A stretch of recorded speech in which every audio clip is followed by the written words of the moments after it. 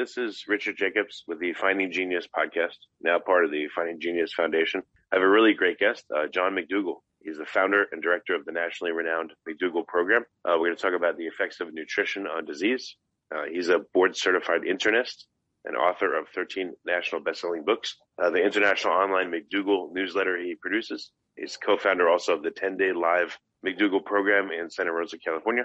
And he's a clinical instructor for four schools, uh, training young physicians. Uh, he's also licensed in five different states in the U.S. So, John, thanks for coming. How you doing? Well, pretty good. I, you know, you you left out the most important part. I'm the oh. grandfather of seven grandchildren, which I think we're going to get into talking about a little towards the end of this presentation. Is uh, oh, yeah, great. That's really cool. Yeah, I, and I'm all those things. I've I've seen over twelve thousand patients in my career, which expands more than a half a century. And for for 44 years, I've had the opportunity to lock people up in various institutions and make them do what I recommend. You know, I've res- in other words, I've, I've run residential programs, uh, but we, we, stopped doing that with COVID nineteen. Really?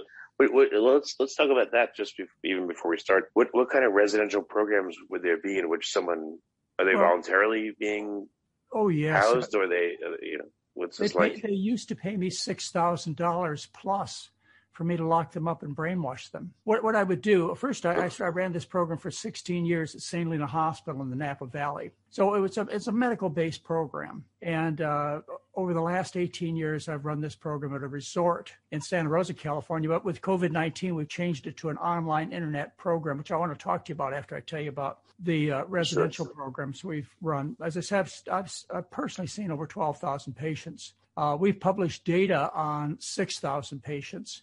And you can find our research in the National Library of Medicine that tells you